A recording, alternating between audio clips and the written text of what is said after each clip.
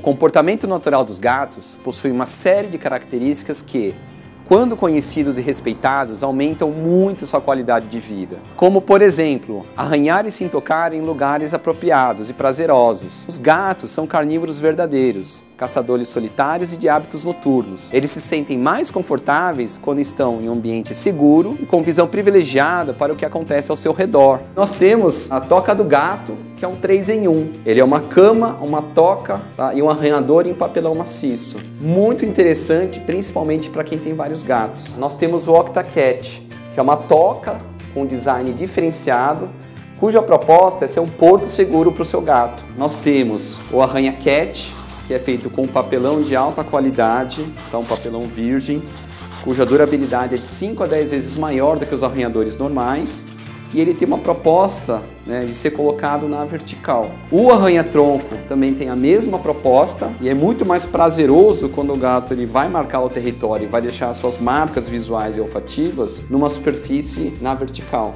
Para estimulá-los física e mentalmente com o instinto de procurar alimentos, nós temos o comedouro brinquedo Mini Pet Ball, o comedouro lento Mini Pet Fit, Cat Pizza e os tabuleiros. Apesar da fama de não serem muito sociais, os gatos possuem um relacionamento amável com seus tutores.